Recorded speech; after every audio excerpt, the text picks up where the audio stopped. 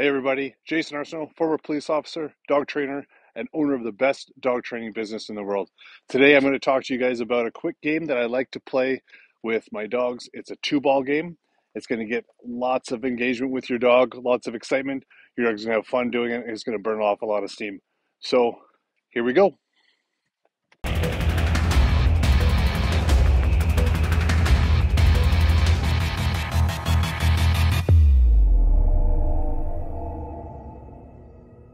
I'm going to get a ball out. Show him the ball.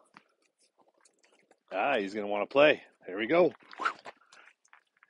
Faked him out.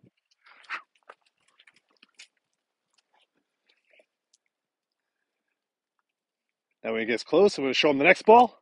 Make him miss. He's going to go get it. Hey. It's a little bit muddy out today.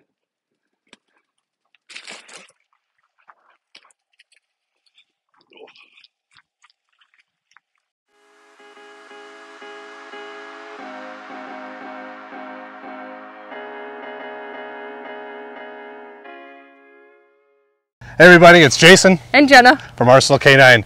Hope you're enjoying this video that you've been watching and if you need any other help, want your dog trained, or just want to chat in general, give us a call or give us a text 639-533-5554. What's that number, Jenna? 639-533-5554. Now back to the video. Bye. There you go. Good boy.